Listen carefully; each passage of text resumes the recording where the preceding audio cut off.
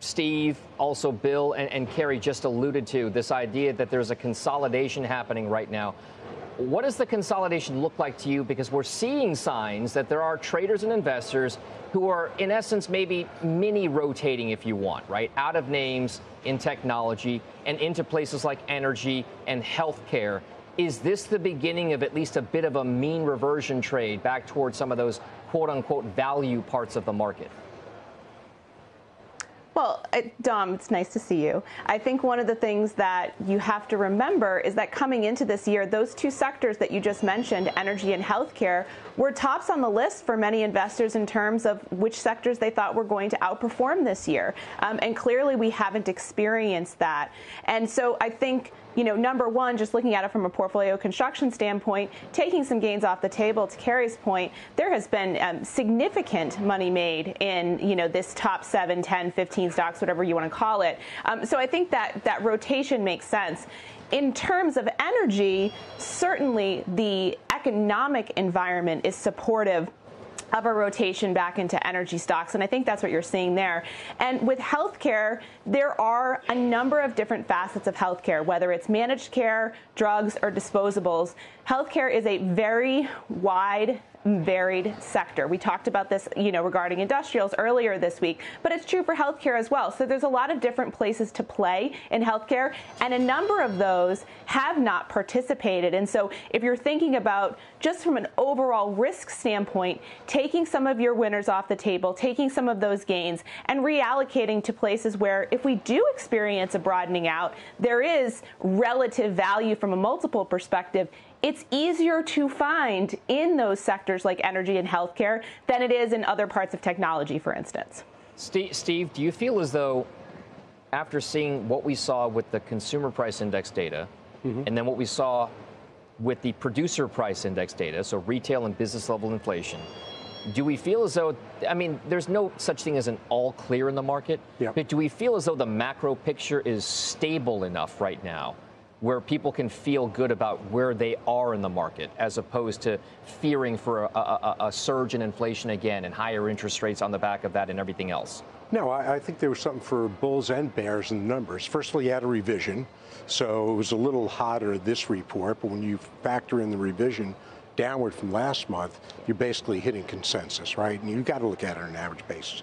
Clearly, inflation's come down quite a bit, but you still have services inflation, which is being very stubborn. And I don't think you look at the market in just isolation. You know, as we talked earlier in the week, you've got credit card balances, credit card debt that's going a lot higher.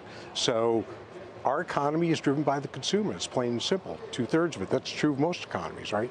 So, so I think you can have comfort. I don't, I don't see a deep dark recession, but you've also had some little dents in the uh, in the Goldilocks scenario where you're trying to thread you know, all the Fed tightening with a soft landing and what set up for that, as, Bill talked about, what got you to these levels, which, by the way, just to correct something you said, interpreting what I said, market didn't get where it is on fundamentals, okay? It got where it is on momentum, and it's coming back now. Momentum's reversing. So, so no, I, I think you take as much comfort today as you took yesterday if you're a bull, and as, as little comfort today as you took yesterday if you're a bear. So it's still, and that's what makes markets. Now, Shannon, uh, one of the things that we, you know, Steve brings up an interesting point with regard to some of the drivers behind the inflationary story right now. He mentions the services side of things.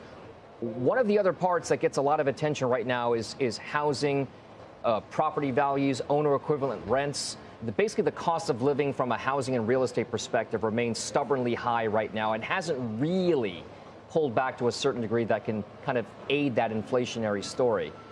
The housing market, as a part of the overall stock market, has been a momentum trade for various parts of the year. Do you think that that housing story is in a consolidation or transition phase as well right now? Housing is a very challenging area in that longer term, and this is not actually dissimilar to energy, but longer term, there's a there's clearly an undersupply, uh, particularly for residential housing here in the United States. And so, on the back of that sort of secular trend of and, and inclusive of the fact that millennials are beginning to accelerate household formation as they move past the student loan payment part of their financial life cycle, there you know there are going to be fits and starts in the housing story. Um, this constant give and take if you will, as it relates to supply is um, offset, particularly in this environment, by the challenge of affordability. And so, if we look at the housing market, what we really need to see is we really need to see um, a reset of expectations in terms of affordability and mortgage rates going forward, which probably means, to be honest, that we need to see expectations for rates to come down at least modestly um, in order to increase that affordability.